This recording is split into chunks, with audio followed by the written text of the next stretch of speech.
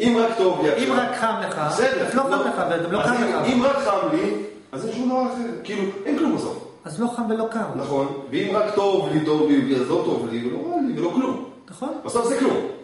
בסוף זה- בסוף לא, לא, אחד. אז לא, השאלה שלי, בסוף זה אחד. אז אם אני אלך עם כל דבר עד הסוף זה אחד. השאלה, כשדיברתי, כאילו.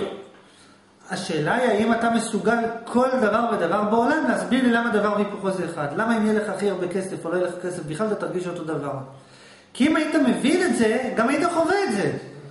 אז צריך לעשות סדנה, סדנה לגבי זה, ל- לעשות... אתה מבין? זה התרגולת. אם היית מבין במאה אחוז, שאם יכאב לך גב עד הסוף, או לא יכאב לך בכלל להיות אבל זה היה עד הסוף, אבל... אז את היית מפחדת לכאוב על האמצע. בסדר? אבל אם היית מבינה למה זה וההפך שלו זה אחד, שנייה.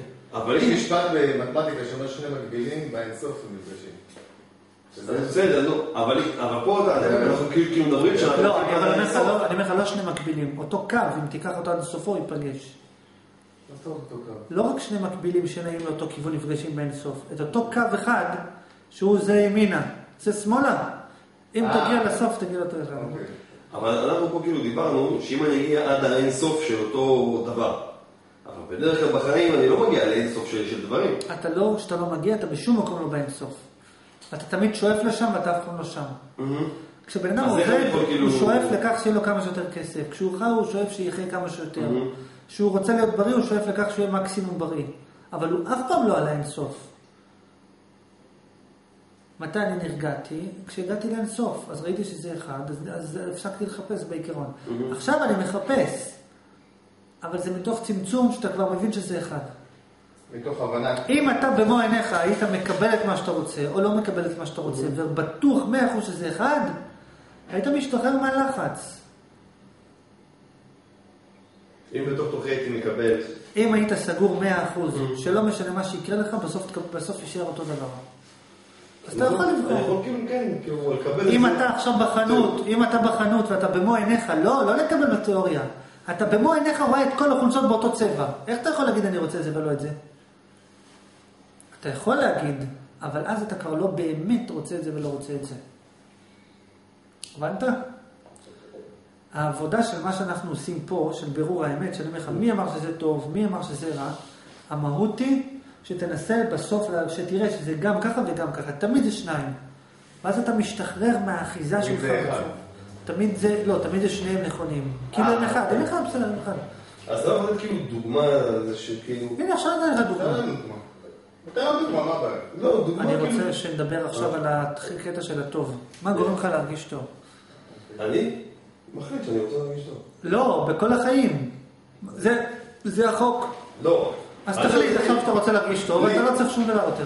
לי, נכון? אני יכול לזרום עם זה. אה, כן, אני אומר לך, אני כאילו לפעמים כשאני... אתה מסוגל כאילו- להחליט? אני לפעמים, אם אני כאילו מתנתק, אתה מסוגל להחליט שאתה... רגע, לא, לא אם לסף סוג הדברים. אתה טוען לא, שבסוף... מה אני- עושה? אתה טוען שבסוף מי שמחליט אם תרגיש טוב או לא, זה אם אתה רוצה, זה אם אתה מחליט להרגיש טוב. מחליט. להרגיש טוב בלי סיבה, בלי- שום דבר, בגלל שהחלטת שאתה רוצה להרגיש טוב, אתה כאילו... אתה מסוגל להחליט שתרגיש טוב. אז למה אתה מתאמץ בחיים, בעיקרון? ממחר אתה לא צריך יותר לעבוד. בגלל שאני... אשתך. תגיד לך, רגע, אבל אם לא נעבוד, יהיה לנו רע. תגיד לה, לא, אין בעיה, אני אחליט להרגיש טוב, יהיה כן, לי אם. אני חי לבד, ואני חי כאילו, ואני כאילו יוצא מהחברה הכוונה, לא, לא, עם החברה. ועוזב את העולם הזה. עם החברה, מה אכפת לך? החברה? אם זה בחברה, מה אכפת לך? לא, אבל לא רוצה לריב עם אשתי. אבל תחליט שאתה מרגיש טוב, וזהו, מה אכפת לך? אז פה היה לי הרבה קונפליקט בעניין הזה שבאמת, שהייתי עם עצמי ולא עשיתי שום דבר, היה לי איזה שנה שלא עשיתי שום דבר, הייתי בחדר שלי, סתם דוגמה, והרגשתי... אתה לא עשית שום דבר, לא אכלת, לא שתית. לא, אכלתי, שתיתי, למה כאילו- אכלת ושתית? אם תגיד, אני מחליט להרגיש טוב, לא היה אני לא יכול. אנחנו הולכים עוד פעם, אה, שאני כאילו... כאילו- אבל למה לא? אבל אם יש...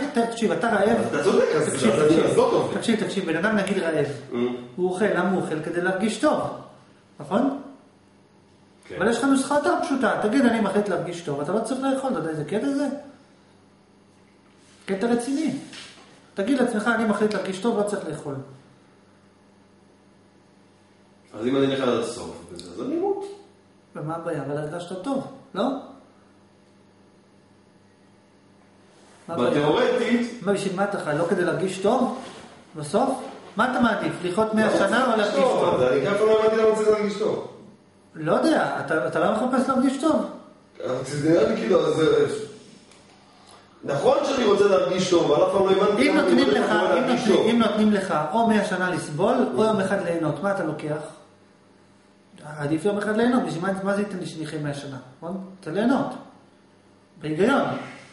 עכשיו, אם אתה בטוח בכך שאם אני אומר לעצמי אני רוצה להרגיש טוב ואני מרגיש טוב, אם אתה בטוח בזה, אז תגיד את זה, ואז לנצח אתה מרגיש טוב. לא משנה מה יהיה איתך, אתה מרגיש טוב.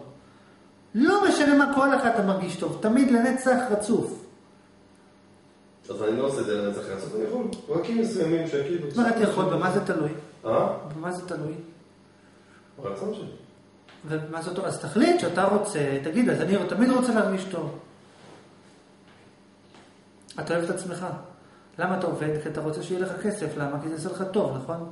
יש דרך יותר מהירה. תגיד, אני רוצה את הכל. וזהו. מה, אתה- מה, לא חשבת על זה אף פעם? חשבתי על זה הרבה פעמים, אני לא צוחק. אני כאילו אמרתי, אני לא צריך כלום בשביל להרגיש טוב. ואז אני, ואז כל פעם שאני כאילו- כאילו שאני מתערה עם החברה, עם חברים ואנשים, ואז הם כאילו, כי אם אני רוצה להרגיש טוב באיך שאני רוצה, אני צריך להישאר לבד. למה? לא, כי הכוונה כאילו, לא, לא, לא להיות חלק מהחברה. למה? אתה לא יכול גם וגם. תהיה גם וגם, ותגיד, אני רוצה להרגיש טוב. מה הקשר לא גם? אין קשר, לא, אם כי אם לך. לחברה, אז פתאום אתה מרגיש אה, אתה יודע, מוסר, אז אתה מרגיש לא טוב. אבל זה לא משנה, תקשיב. בקצה של להרגיש טוב, אתה גם לא אוכל ולא שותה ולא מדבר ולא חושב ולא כלום. נו. אני רק אומר, על העיקרון, עכשיו בוא ננסה להבין מה גורם לך להרגיש טוב. מה הדבר? אתה טענת שזה אם אני רוצה להרגיש טוב אני מרגיש טוב, ואם לא אז לא. אמרתי, זה לא כל כך נכון. תגיד שהיית ילד בגיל 10 וחיפשת אה, קלפים. מה, אתה באמת שמחת כי רצית להרגיש טוב? לא. אז השאלה, מה הדבר שגורם לכך שכולם, מה, למה אלה שעומדים בצפירה מרגישים טוב, ואלה שלא עומדים בצפירה מרגישים טוב? הדתיים, נגיד, יש כאלה שהם בצפירה בכוונה יושבים, הם מרגישים טוב מזה שהם לא עמדו. יש כאלה שעמדו ומרגישים טוב מזה שהם לא ישבו. מה, מה קרה שם? איך יכול להיות ששניהם מרגישים טוב לדבר? במציאות. מה? שלמות עם המציאות. מה זה אומר? שלמות עם המציאות, זה אומר שאתה מקבל את המציאות כמו שהיא. שאין לך רצון לשנות אותה. עכשיו השאלה הנשאלת היא, זה למה לפעמים אתה נהנה מזה ולפעמים אתה נהנה מזה. אתה מסכים שזו השאלה המתבקשת? כן. זאת שאלת המפתח. בהנחה, תתרכז, בהנחה שאם טוב לך או לא טוב לך, זה תלוי באם אתה רוצה את המציאות או לא, אז שאלת המפתח היא, אוקיי, אז מי מחליט אם אני רוצה את המציאות או לא? כי אם לא אני, אז נדפקת. ואם אתה, וגילית איך, אז שיחקת אותה. תסביר, תסביר, חכי, תסביר. מה שאני הבנתי פה ככה, שלמה אני מרגיש טוב פעם מזה ופעם מזה, כאילו, עכשיו מזה ועכשיו מזה. זאת אומרת, עכשיו אני מרגיש טוב שאני פה, נכון? ומחר, ואחר כך אני יכול להרגיש, ומחר אני יכול להרגיש לא טוב שאני פה. ואני יכול לקחת דוגמה מכל דבר אחר, לא משנה, כל עצם אחר. עכשיו, אני צריך להבין למה, מה כאילו השורש של העניין, שאני מרגיש עכשיו טוב, ואחר כך לא טוב. מה, דוגמה עכשיו אני מרגיש טוב שעכשיו אני אוכל, ואחר כך אני כאילו, ושבעתי לדוגמה, ועכשיו אני הולך סתם דוגמה לראות איזשהו סרט, ולמה עכשיו אני מרגיש טוב? ואם תגלה, ומה... ולמה אחר כך אני כאילו במשהו אחר, תמיד זה משהו אחר. אף, אין לי טוב במשהו אחד קבוע. כי הכל כאילו משתנה. מה כאילו השינוי הזה? מה למה? גורם לשינוי? ואם תגלה שהשינוי לא תלוי בך, אז אין לי מה לעשות, אני צריך להשלים עם זה. זה אומר שנגמר, אתה לא צריך לחפש יותר, כי זה בכל נכון. מקרה לא תלוי בך. מה שאני לא אעשה זה לא תלוי בי. זה יכול להיות שאני ארגיש טוב, יכול להיות שאני לא ארגיש טוב. כן. מה זה? לדוגמה, לדוגמה, אתה נגיד יכול להפסיק ללכת לעבוד. אומר, בכל מקרה, אם בסוף אני ארגיש טוב או לא, זה תלוי מה אלוהים ירצה. אם ירצה שאני ארגיש טוב, אני ארגיש טוב בלי כסף. ואם ירצה שאני ארגיש רע, אני ארגיש רע עם כסף. אז בשביל מה אני צריך להתאמץ אבל לעבוד? אז עשיתי כל אחריות ממני, איפה אני? השאלה מה האמת. לא.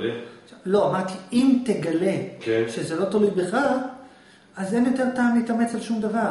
בכל נכון. מקרה, אם אתה מרגיש טוב או לא טוב, זה לא תלוי בך.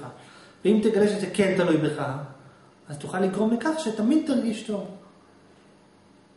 תסביר. שני הצדדים. הבנתי. אם עכשיו הבנתי כאילו שאני אומר שזה לא תלוי בי. אם תגלה שזה לא טוב. אם אני כאילו אגלה שזה לא, לא תלוי בי, ביכולת שלי לעשות שאני ארגיש טוב, וזה לא תלוי בי, זה, קשור לאלוהים, לפי הקפוזות שלו. או נגיד אקראי מבחינתי. אחרי אותו דבר. אותו דבר. אז אין לי מה לעשות.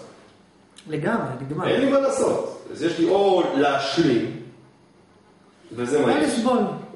ואז לא משנה אם אני סובל, כי אז אני אני השלמתי, זה אבל לא זה גם לא תלוי בך בכלל. נכון, אבל אם זה תלוי בי, אני צריך למצוא את הנקודה הזאת. לא, אתה לא יכול להשלים. כי גם לא ברור, אתה גם לא מחליט אם להשלים מזה או לא להשלים מזה. לא תלוי בי. לא, שום דבר. זה מה יש. לא, נגמר, כן. נקודה. אוקיי.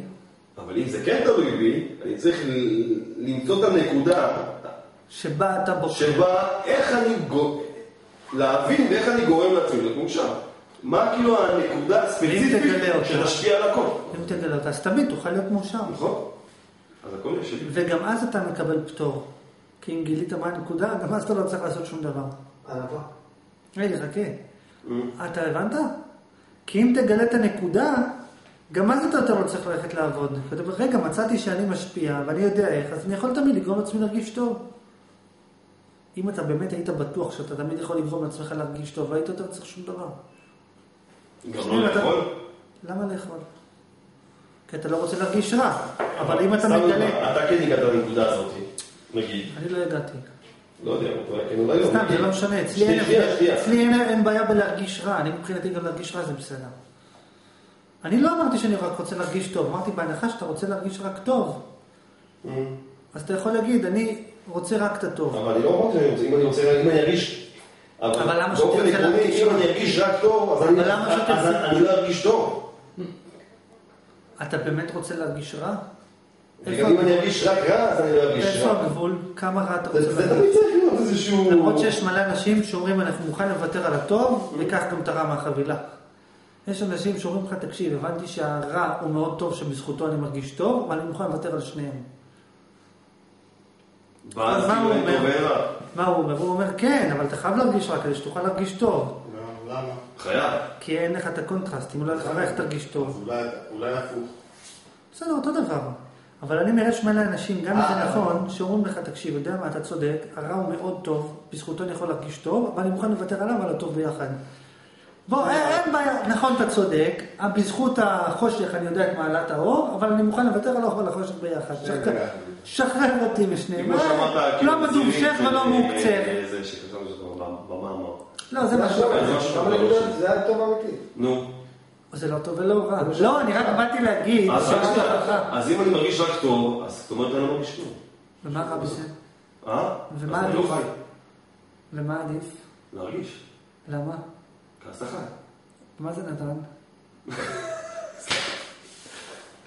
חי פירושו לא משהו אחר. מה את רצית להגיד?